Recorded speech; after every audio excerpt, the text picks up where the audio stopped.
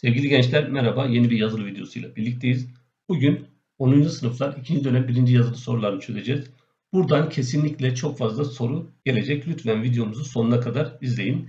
Ben sizler için yazılının orijinal halini yani pdf dosyasını e, siteme yükledim. tarihkursu.com sitesinden indirebilirsiniz. Zaten linki de açıklamalar kısmında vereceğim. Lütfen kanalımıza abone olmayı ve videolarımızı beğenmeyi unutmayın. Biliyorsunuz YouTube algoritması buna çok önem veriyor. Eğer sizler videolarımızı beğenirseniz bizler de sizler için daha çok içerik hazırlarız. Hazırsanız yazılı videomuza geçelim. Birinci grup sorum arkadaşlar doğru yanlış soruları.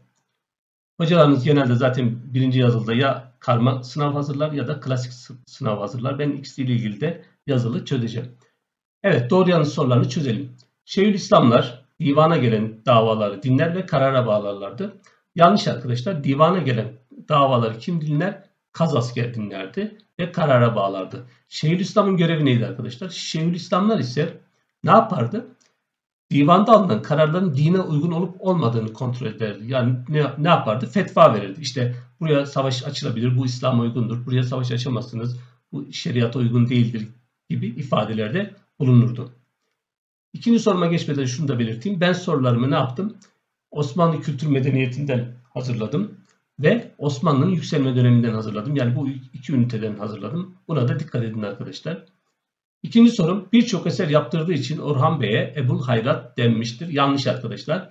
Orhan Bey'e değil kime denmişti? İkinci Murad'ın lakabı buydu. Ebul Hayrat. Çünkü birçok hayrın yapılmasına öncülük etmişti. Kadıların verdiği kararlar şeriye defterlerine kaydedilir. Evet doğru arkadaşlar. İlk Osmanlı Medresesi Orhan Bey döneminde İznik'te açıldı. Bu da doğru. Hatta ilk müderrisi, ilk hocası kimdi? Kayseri Davut. Yani Kayserili Davut ya da Davut el Kayseri'dir. Tarihçiler Kanuni Sultan Süleyman'ı 8 yıla 80 yıllık iş sığdırmış büyük hükümdar olarak tanıtırlar. Yanlış arkadaşlar bu kimdi? Yavuz Sultan Selim'di. Biliyorsunuz Yavuz Sultan Selim 8 yıla yakın tahtta kalıyor ama Osmanlı'yı iki katından daha fazla büyütüyor. 1533 İstanbul Anlaşması ile Avusturya Arşidükü yani kralı protokol bakımından Osmanlı sadrazamına denk sayılmıştır. Doğru arkadaşlar. Böylece Osmanlı Avusturya karşısında ne oldu? Siyasi üstünlüğünü ele geçirdi. Bu çokça soruluyor. Mevlana Konya'da Fütüvvet Teşkilatı'ndan esinlenerek ilk ahi teşkilatını burada kurdu. Yanlış arkadaşlar. İlk ahi teşkilatını kim kuruyordu? Ahi Evran. Nerede? Kayseri'de kuruyordu. Mevlana'nın Konya'da neyi var? Türbesi var, e, tekkesi var ama bu ahi teşkilatı değil. Safevi hükümdarı Şah İsmail 2. Bayezid döneminde Antalya ve yöresinde Şah Kulu isyanını çıkarttırdı. Evet arkadaşlar doğru. Bu isyan ne oldu? Osmanlı Devleti'ni çok fazla uğraştırdı. Birinci grup sorularımızı tamamladık. Gelelim e, kelime yerleştirme sorularımıza. Hocalarımız bu kelimeleri vermeyebilir. Onun için kelimeleri tam olarak öğrenelim. Hacı Bektaş Veli'nin fikirlerini bir arada topladığı eserin adı neydi arkadaşlar? Makalattı. Hacı Bektaş Veli deyince aklınıza makalat gelsin. Divan-ı Hümayun'daki temsilcileri Vezir-i Azam, vezirler, Kaptan Derya ve Yeniçeri. Bu hangi gruba giriyor arkadaşlar? Tabii ki Seyfiye. Biliyorsunuz divanda 3 grup yönetici vardır. Seyfiye, İlmiye ve Kalemiye. Seyfiye deyince aklımıza askerler ve yöneticiler gelecek. Yani Vezir-i Azam, vezirler, Kaptan Derya ve Yeniçeri Ağası. Divandaki temsilcileri Anadolu ve Rumeli defterdarı ile nişancıdır. Yani bunlar arkadaşlar kim? Kalemiye. Yani bunlar memurlar. Bir de ilmiye vardı. Burada da kim vardı? Kaz asker vardı. Yoksullara, medrese öğrencilerine, tekkelerde kalanlara, yolculara yemek dağıtmak üzere kurulmuş olan kurum. Hayır kurumu neydi arkadaşlar? İmarethaneler. İmarethanelerde bedava yemek dağıtılırdı. Fatih'in 1473'te Akkoyun Devleti ile yaptığı savaş sonrasında Akkoyun Devleti dağıldı. Uzun Hasan'la yapılan savaşımızın adı neydi arkadaşlar? Tabii ki Otlukbeli Savaşı. Bu savaş sonucunda Akkoyun Devleti yıkılma sürecine giriyor. 1526 cevabını hemen verelim. Mohaç Meydan Savaşı'nda Macar kralı ölüyor ve Macaristan büyük oranda Osmanlı hakimiyetine giriyor. 28 Eylül 1538'de yapılan Deniz Savaşı ile Andradorya komutasındaki Haçlı ordusu büyük bir bozguna uğratılıyor. Hangi savaş arkadaşlar bu? Tabii ki Preveze. Preveze Deniz Savaşı'nda Barbaros Hayrettin Paşa ne yapıyor? Haçlıları büyük bir yenilgiye uğratıyor. Böylece Akdeniz'deki kontrol büyük oranda bize geçiyor. Üçüncü grup sorum test sorusu. Daha sonra test sorusunun ardından da klasik sorular çözeceğiz. Aşağıdakilerden hangisi Osmanlı Devleti'nde görülen el sanatlarından biri değildir? Dokumacılık var, hat var, ahşap var, çini var, heykel yok. Arkadaşlar İslam devletlerinde genelde heykelcilik pek gelişmemiştir. Diğerlerini açıklayalım. Burada bilmediğiniz belki hat olabilir. Hat da güzel yazı yazma sanatı. İkinci sorum Mimar Sinan'ın çıraklık, kalfalık ve ustalık eserleri sorulmuş. Bu da çokça soruluyor. Arkadaşlar Mimar Sinan'ın hemen şıkkını işaretleyelim.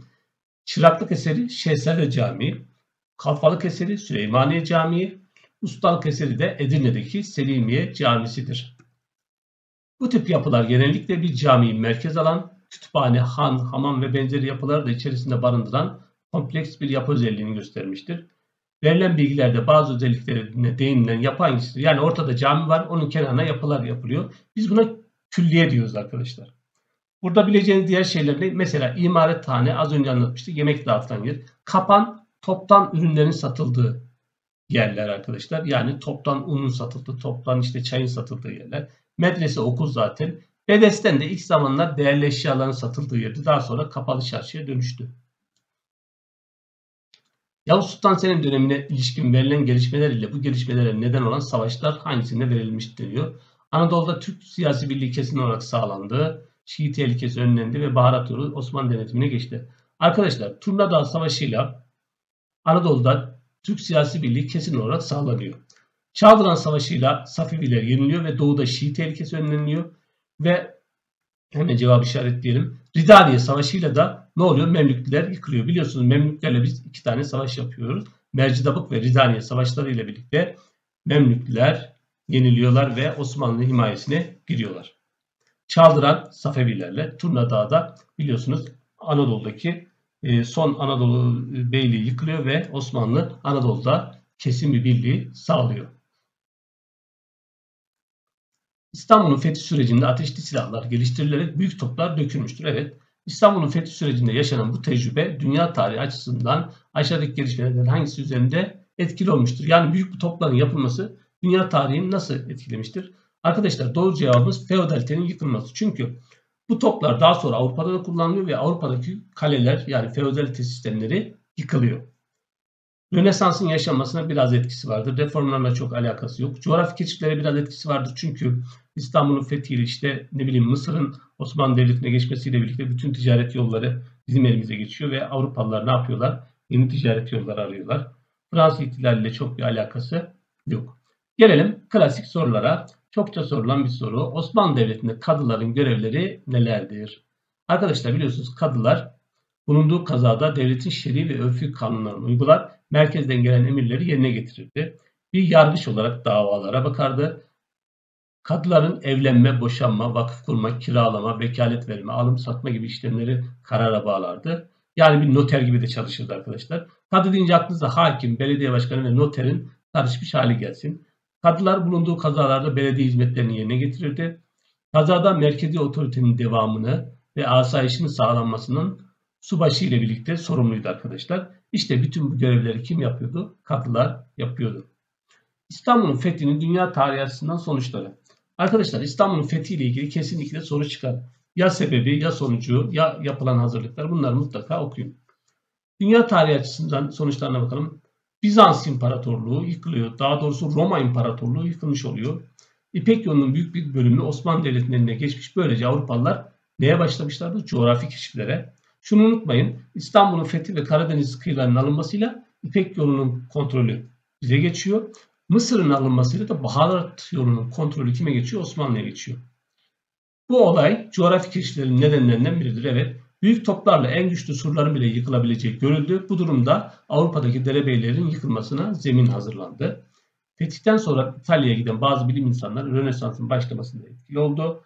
Fetihle birlikte arkadaşlar Orta Çağ sona eriyor ve Yeni Çağ başlıyor. Bunlar İstanbul'un fethinin dünya tarihi açısından sonuçları. Yavuz Sultan Selim'in Mısır seferinin sonuçlarını yazın demişiz. Bu da ÖSYM tarafından çokça sorulan bir soru. Ayrıca hocalarınız bununla ilgili kesin soru çıkar. Eğer buraya kadar konuyu işlediyseniz. Bir kere Memluklu Devleti yıkılıyor arkadaşlar. Suriye, Filistin, Lübnan, Mısır, Hicaz bölgesi Osmanlı Devleti'ne geçiyor. Hicaz bölgesi dediğimiz yer neresiydi? Burası önemli. Mekke ve Medine'nin bulunduğu bölge. Doğu Akdeniz'den geçen baharat yolu Osmanlı Devleti'ne geçiyor. Halifelik Osmanlılara geçiyor. Böylece Osmanlı Devleti İslam dünyasının dini lideri oluyor. Venedikliler Kıbrıs adası için Memlüklere ödedikleri vergiyi artık kim ödeyecekler arkadaşlar? Osmanlı Devleti'ne ödeyecekler. Bu soruyla birlikte yazılımımızın sonuna geldik. Hepinize başarılar diliyorum. İnşallah herkes yüz alacak. Lütfen kanalımıza abone olmayı ve videolarımızı beğenmeyi unutmayın. Ben e, ayrıca sadece klasik sorulardan oluşan bir yazılı videosu da paylaşacağım. Herkese iyi çalışmalar.